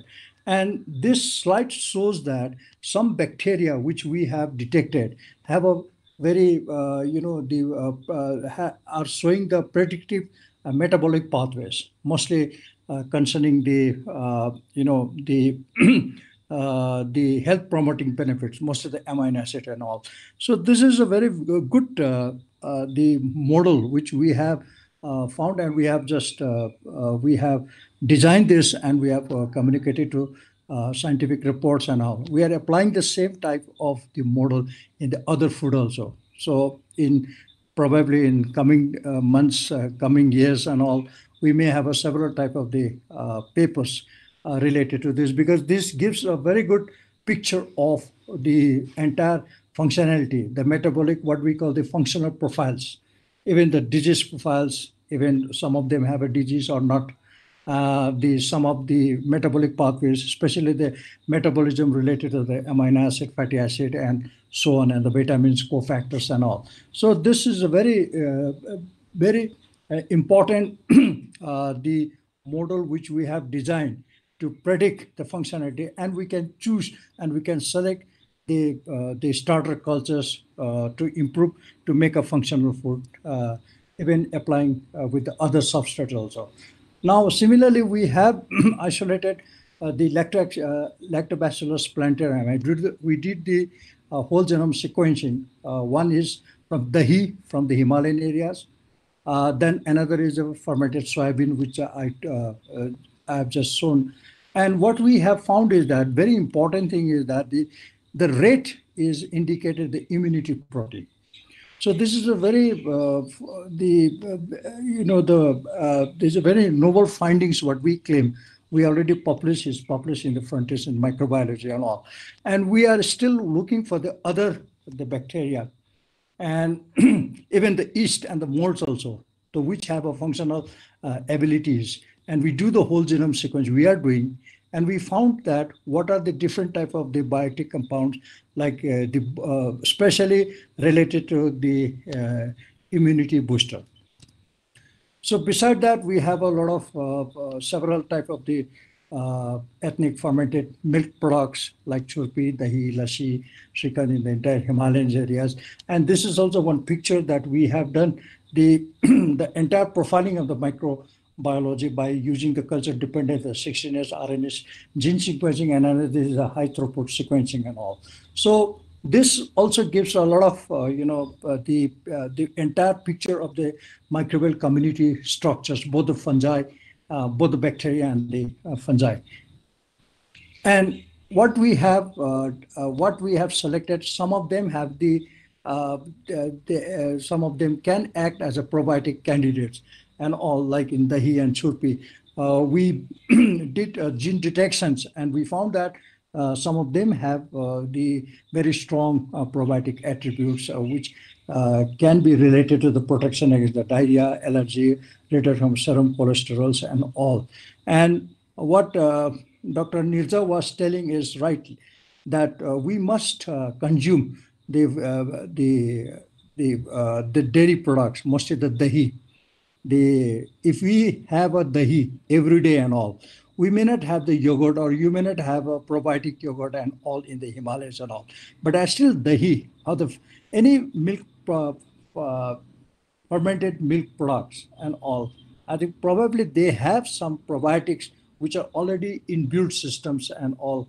And because we are we are consuming not only dahi, but we are consuming the life bacteria and all. And some of them, some of them may may have the probiotics and that will help uh, in immunity boosters uh, Im uh, and the, uh, the, boosting immunity also. At the same time, they are projected as a health uh, promoters. And we have a different type of the fermented cereal products, and nanis and jalebi and all. And this is very interesting. This is the uh, the entire the ethnic breeds in Kashmir, in India, Pakistan, Af Afghanistan. As I told you, that the, the stable diet is the wheat or the barley best. So uh, the, the, the research has not been done on this also. So we find that we have to we have to find out that what will be the gluten free the bread because these are all very important and all. And now, as you know, the health promoting benefits of fermented foods, the fermented foods have the several health promoting benefits and they produce uh, the biotic compounds. They like cancer prevention, lowering blood cholesterol, protect from the osteoporosis, and so on. So this is my last slide. Dhanyavad. Thank you very much, sir. Yeah. Thank you very Okay. much for the wonderful presentation, sir. Yes. Uh, with this, we have completed the uh, talks. The four talks are done. Now we uh, come to the the next part, which is going to be a panel discussion. Panel discussion where the current hot burning topics will be discussed from uh, by the experts in this field, uh, from all the panelist members. Uh, let me uh, quickly introduce Dr. Prajapati sir, who is going to moderate the panel discussion. He, he did his dairy technology graduation from Gujarat Agricultural University and PhD in dairy microbiology from NDRI Karnal. Since last 38 years, he is serving as the faculty of dairy science in various capacities. And from March 2015, he is the principal and dean of the Faculty of Dairy Science at Anand Agricultural University. He is handling a number of research projects sponsored by various government agencies and has published more than 400 papers. He, he's a recipient of several awards, just to name one, which is Hari Om Ashram Award in 2015, which was awarded to him by ICAR for his outstanding research contribution in probiotics. He is on the editorial board of uh, several journals. He is the coordinator for the SASNet since inception 2003. He's a life member of several professional bodies, chairperson of the scientific panel on milk and milk products constituted by FSSAI. He's a member of the task force on inventory of microorganisms with documentary his, documented history of use in food. And in nutshell, if I have to describe him, he's one of the pioneers in academy who has exhaustively worked in probiotics. So with that short uh, introduction of his, I would request now Prajapati sir to take over for the panel discussion. Uh, thank you, Kavita, and uh, thank you all the speakers for very nice uh, presentations. Actually, uh, we have exceeded little bit time. Anyway, but still we have scope to have few questions because I am monitoring the live chat on YouTube as well as this discussion on Google Meet both ways. There are many questions coming, but uh, we'll sort out only few. Uh, uh, I have first question for Professor Nair. Uh, actually, uh, many people have curiosity to know that the immune response comes when any invader comes to the body, whether it is a food or friend or foe. How do we differentiate that this response is good and this response is bad? And this has come from this ingredient or specifically coming from a specific probiotic strain or it is coming from something else. How we can differentiate this?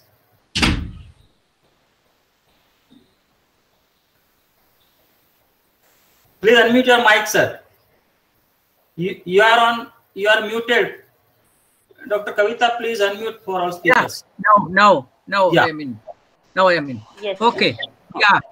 No, that is a big question. I'll oh, yeah, that that that is a question. Mm, I, I don't know how to answer it, but I mean, you, you how to differentiate between between harmful and and and pro pro and not not pro. I mean, harmful and it is it is by encounter only. I I think it is. I mean, either you know by uh, reaction you get by a slight infection or something, or you have learned it from earlier.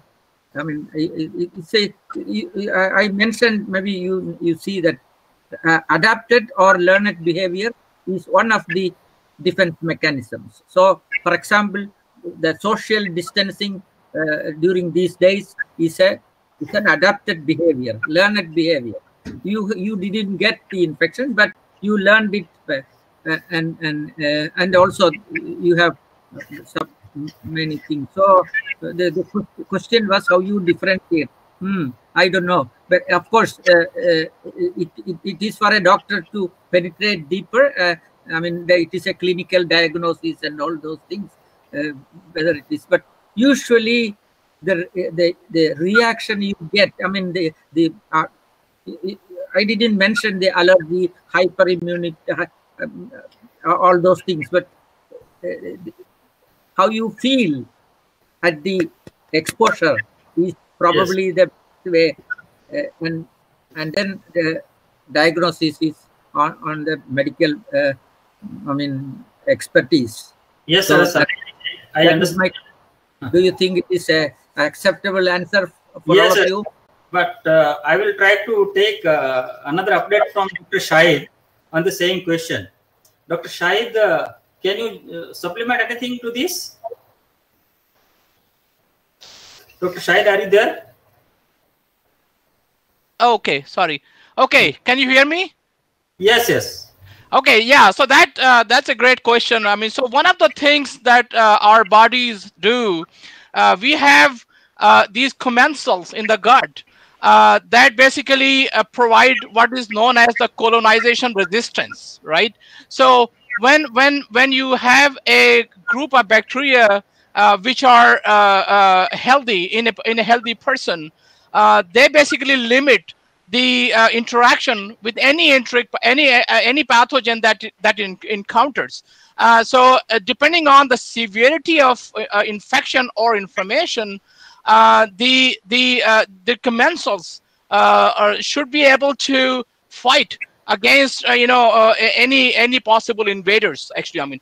What happens that when when this capacity of of our, our bacteria uh, in in our healthy bodies you know i mean when that capacity is compromised then what happens is these these invaders take hold of your uh, system and they start attacking the immune system. And some of these bacteria even for example h. pylori lives in in us for for for ages uh, before uh, before coming out you know i mean uh, to attack us. Number one. Number two uh, our our ability to fight infections is also compromised when uh, when we are given antibiotics uh, because then that wipes out all the good bacteria along with your bad bacteria actually and some of these even when you stop taking antibiotics it takes sometimes in months or even years uh, to get back to the original uh, uh, uh you know stage and some of these bacteria may even never come back actually i mean so that leads to a decreased capacity and number three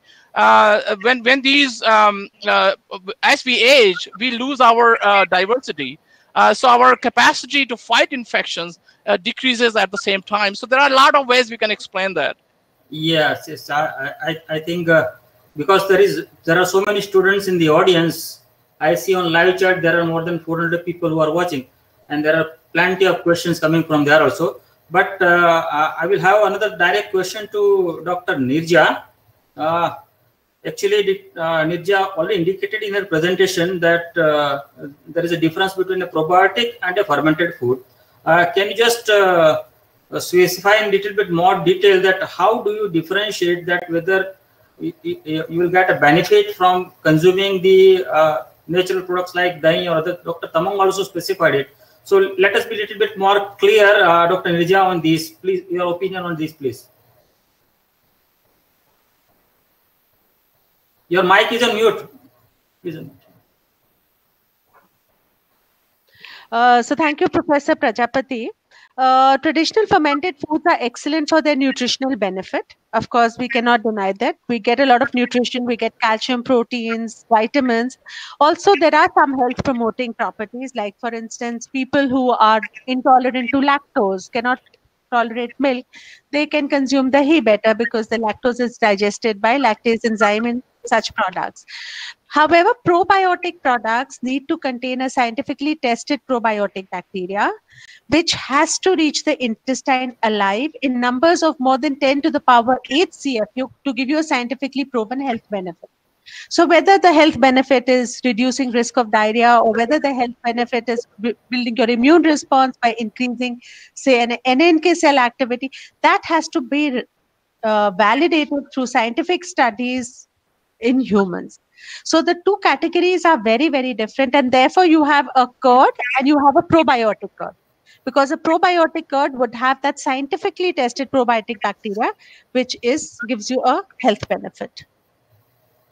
So uh, the question is not about having a traditional fermented food or a probiotic uh, or a probiotic. It is ha about having a traditional fermented food and a probiotic for a health benefit.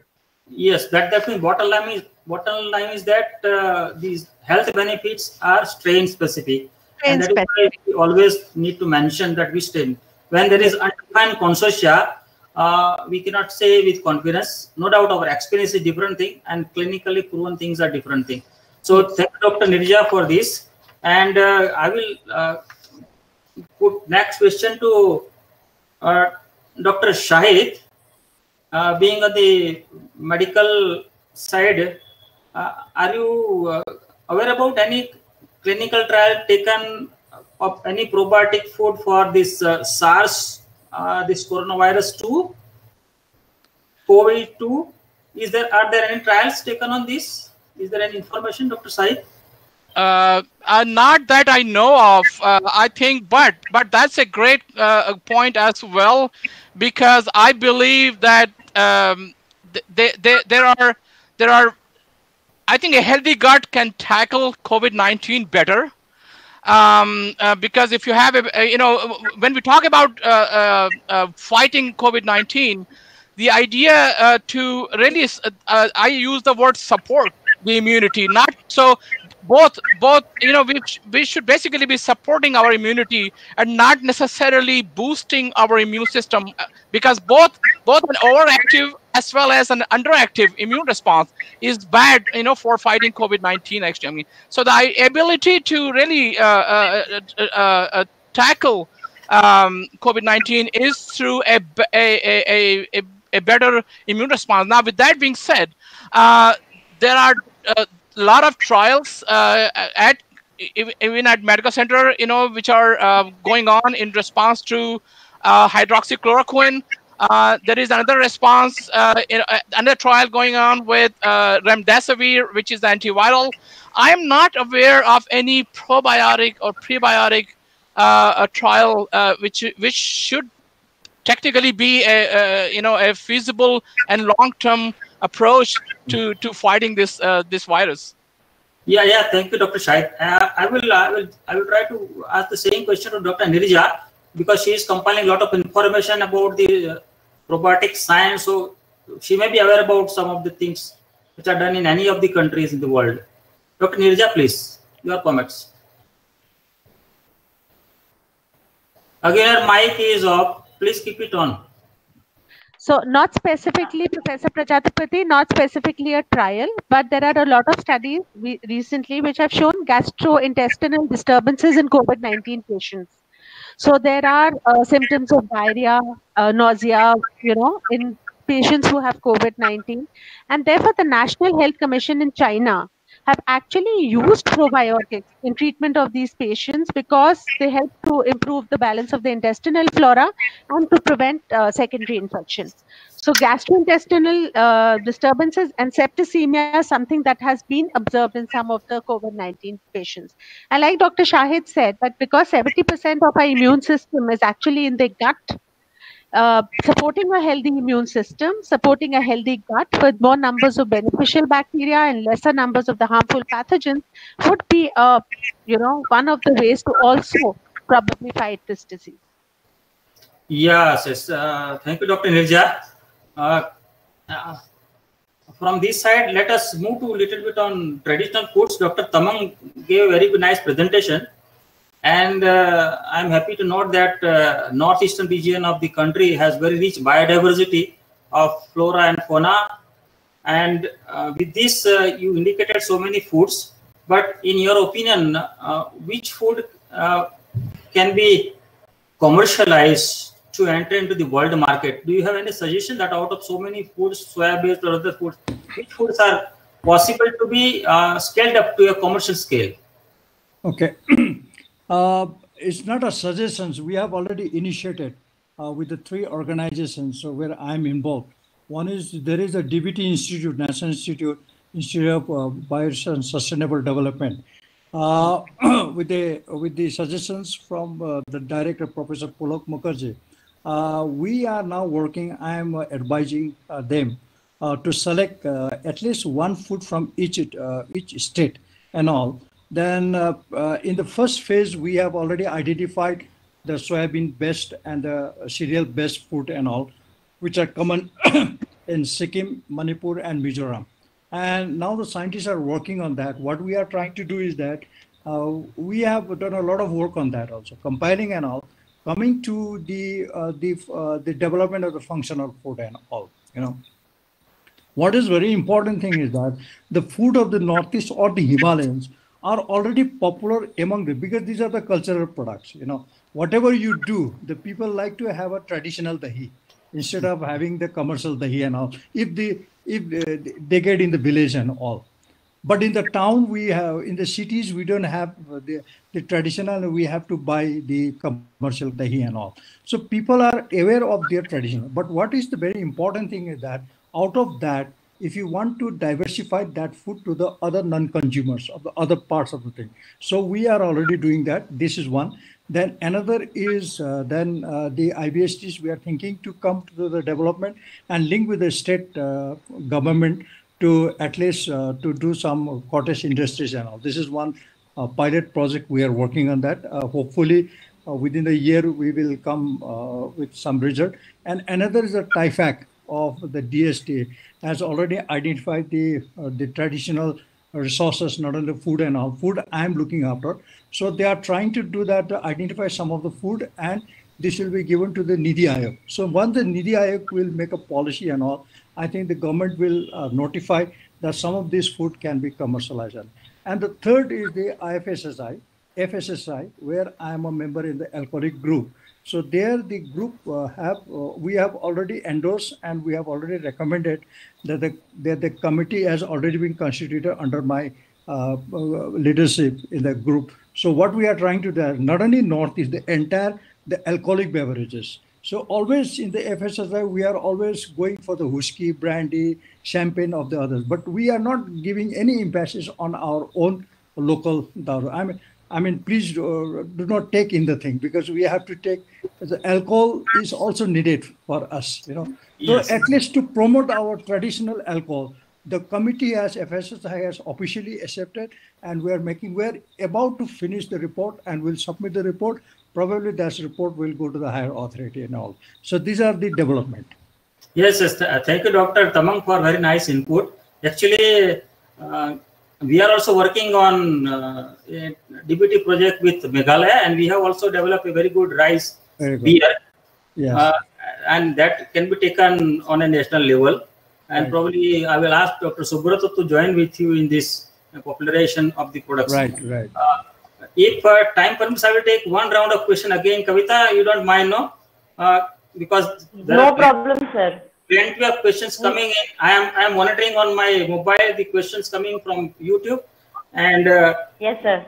To put and even uh, Dr. Nair is very one interesting question uh, that if you be healthy, you be if you be happy, and if you do not have any tension, whether your immunity will improve.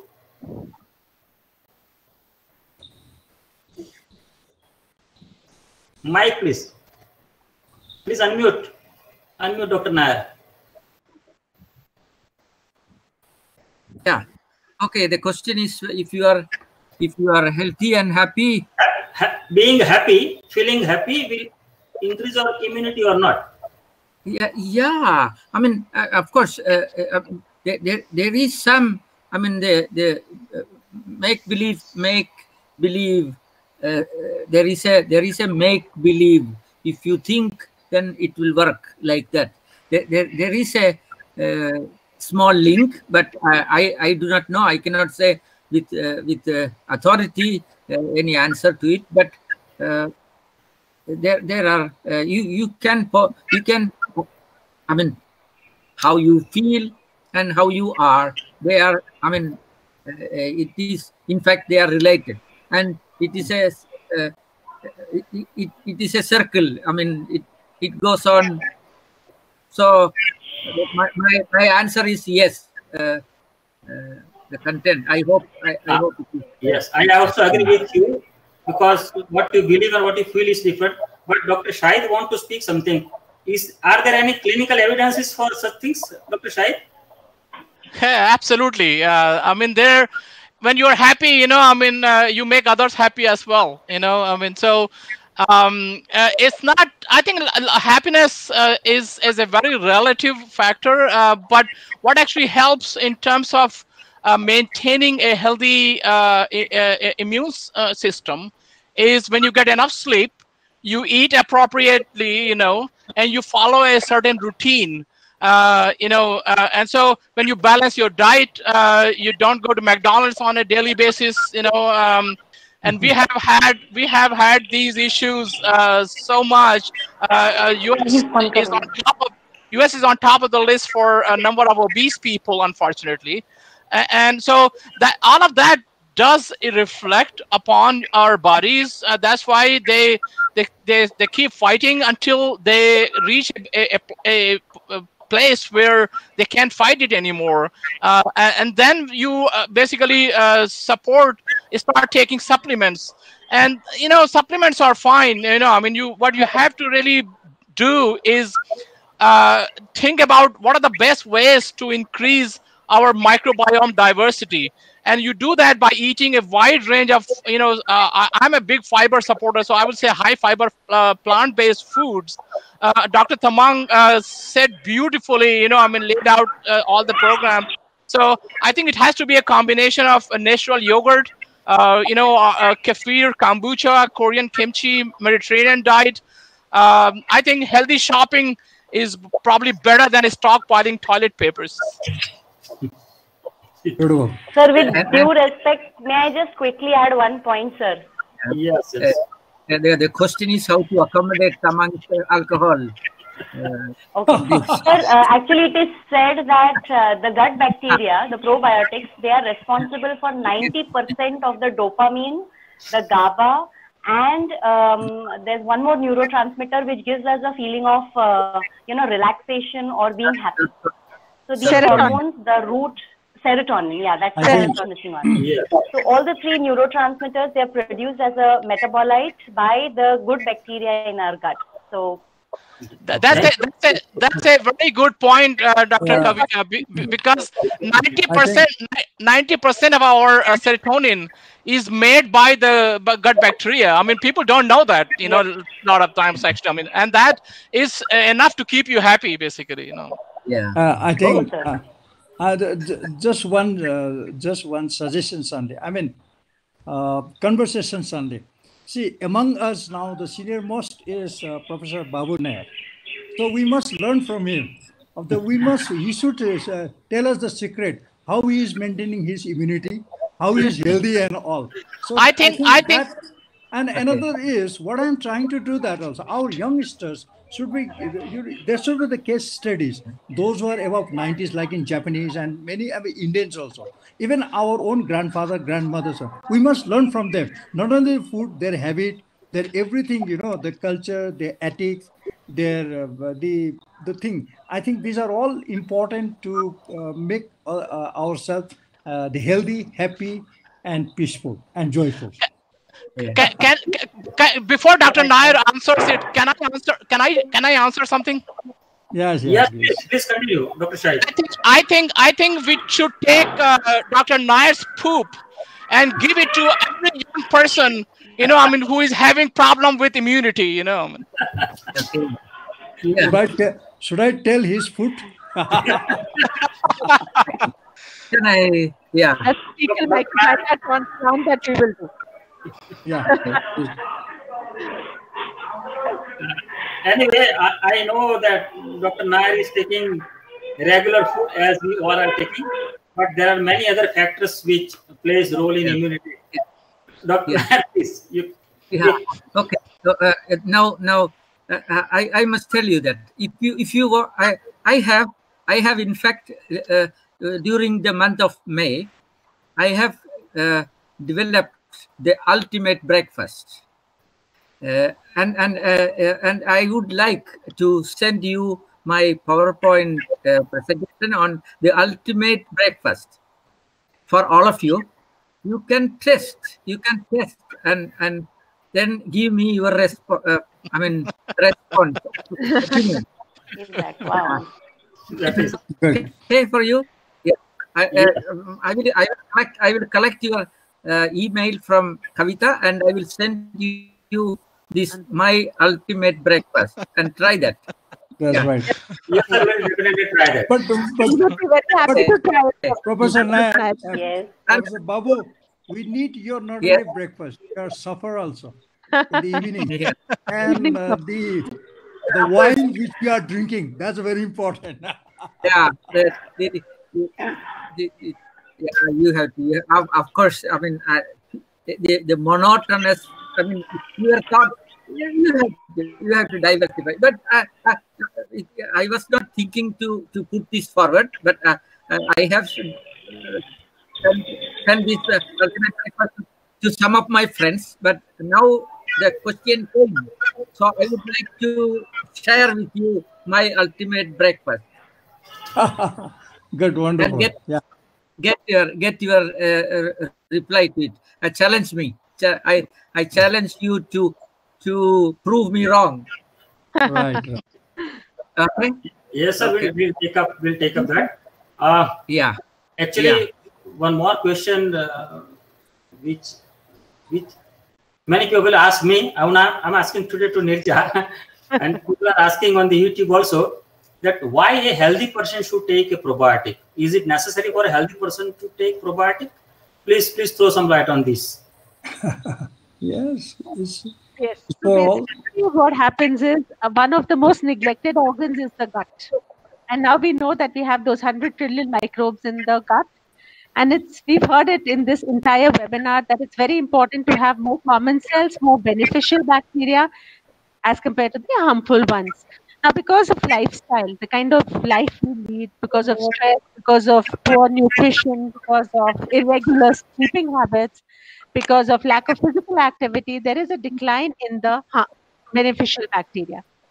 So probiotics suggest one such intervention which reach your intestine alive, improve the balance of the intestinal flora, increase the beneficial microbes, decrease the harmful microbes, and build your immune responses.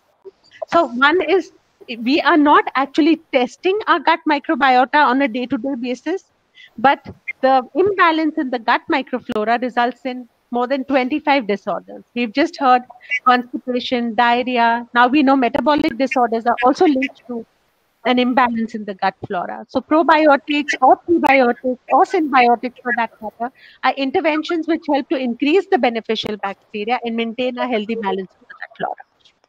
Yes, yes, that is good, and I agree with you. Uh, actually, there are many questions on the synbiotic food, and people are asking the examples. See, the greatest example of synbiotic, which I feel, is Panchamrut, which is well known since centuries, where it has a dahi and having good lactic acid bacteria and honey as a source of prebiotic. And there are, uh, say, Amur's Flavia is also a synbiotic product, and there are many examples available in the market. But I have a specific question to Dr. Tamang that uh, Northeast has a very rich biodiversity of plantations. So instead of using a uh, prebiotic as a component, purified component, extracted component, if you use the natural resource like chicory, onion, banana, other things, and make a synbiotic food, it may be better and more cost effective. Uh, what is your opinion about the natural, uh, which are rich in, rich in pre- prebiotic components in your No, no, you- no, no, you're right because the bioresources to uh, use as a prebiotic is very important. So in that, what you have mentioned, all the plants and all the fruits, I add the soybeans and the gluten-free, the finger millets. You know, these are all also very important and all. The traditional crops are all important for the prebiotics and all. Those who are endangered and which have been now in the very neglected areas, especially in the Uttarakhand, Himachal Pradesh, Kashmir, Ladakh, and in northeast regions and all, there are crops, the minor crops, which are that what uh, Dr. Sahitya said that these are all fiber, fiber rich, gluten free, and so many, you know, the unexplored my thing, and this can be used as a prebiotics. Yes, yes, uh, very nice, Dr. Tamang. Actually, uh, many more questions are pouring in, but we'll try to go towards uh, conclusion. Actually, as far as these minor millets are concerned, uh, the millets were earlier they were poor food because they were grown very much and they are very cheap. But now it has become costlier, the costlier than the the basic uh, uh, cereals and so it, they are costlier than the rice and wheat because now people have become conscious about the richness of minerals in that, the, rich, the type of fiber which they have and so. And uh, we at our Dairy Science College at SMC College of Dairy Science also develop many foods containing such cereals and fruits and pulses and also enriched uh, with uh, good indigenous probiotic cultures and adding the uh, natural resources of uh, components which will provide them a prebiotic component and ultimately it will be a synbiotic product. So uh, with this, uh, uh, we'd like to conclude the session because we have gone ahead of about 25 minutes ahead of the time. And I thank all the speakers for very live and interactive session, very good, nice answers. Probably there are uh, so many uh, uh, questions in the live chat we could not answer, but I request the organizers and Dr. Kavita to look to that and then Yes, we'll try to reply them probably individually. All will have a supplementary YouTube letter, uh, where the questions will be specifically addressed. Uh, Sure, so, uh, once again, I thank all of you, uh, and especially Khalsa College for managing the IT uh, activities, logistic from there, and uh, all the members of SASNET Fermented Foods and all the uh, four learned speakers to be with us and manage the show. Thank you very much. Thank you all. Dr. Thank you. David, please. Thank you. Thank you. Yes, sir. Dr. Yes, sir. Uh, we could not see your picture. I just want to see. Oh, oh my God! I have my camera on, but uh, for some okay, reason, but- But I Uh, could I'm- not see you. I think you have My- seen my- me, but I just want to see you. oh my, Sometimes when you meet, I can recognize you. yeah, I'm very handsome. No, I'm just kidding. Actually, I mean, so but can you Oh. just, switch on the camera? my The uh, camera is I, I have the camera on, so I don't know for some reason. Oh, size is there, but uh, Yeah. your camera, Mm, your picture is not coming. For some reason, I, I don't know how to fix it. Anyway, you can send the photograph. we can, And I I must congratulate uh, Professor sir. Prajapati and the entire team for organizing this very meaningful uh, webinar. And uh, Thank you very I much. Big thank you, clap. ma'am. thank you very much. Thank you. Thank you very much. Thank you, thank you very much. Thank you. This is a very wonderful webinar without any drink, without any food. so So we'll we are in have a the very virtual we'll miss, we'll miss Dahi and so So anyway, we hope to have many more such and webinars in the future, uh, Professor Prajapati, Dr. Kavita. And uh, really, Definitely, ma'am. Yeah, we'll work on that. Yes. Yes. thank you Thank very you much. much, Congratulations. Thank, Prajapati. thank you. Bye bye. Thank you. uh, Thank Dr. you all. Subrata Yeah. and Dr. Kavita for organizing this. And you, uh, at last, the Sai sahab said that ki, uh, good morning. abhi to yahan to अभी तो यहाँ तो रात हो गया good evening good night good night sir it is a, is a it is I think the midday in in Sweden या I think it is midday yes yes okay all right thank you. dinner thank you very much dhanyawad okay, okay. thank you very much sir yeah thank yeah. you Yeah. Okay, thank you very much. Yeah.